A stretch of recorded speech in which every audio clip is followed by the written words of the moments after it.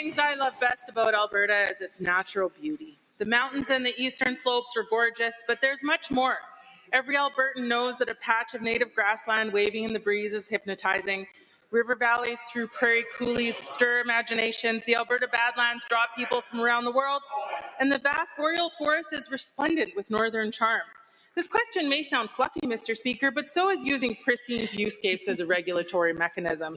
Why does the minister keep telling us the only viewscape worth protecting is the eastern slopes? The Honourable the Minister of Affordability and Utilities. Thank you, Mr. Speaker. Thank you for the question. Uh, this topic is a topic of conversation around the world. Every jurisdiction has areas that they're proud of and want to make sure that they protect for tourism to enjoy for generations. That's exactly what we're doing here in Alberta, protecting our majestic Rocky Mountains and those lovely foothills, as well as the UNESCO World Heritage Sites. This is what Albertans wanted. This is what we are delivering.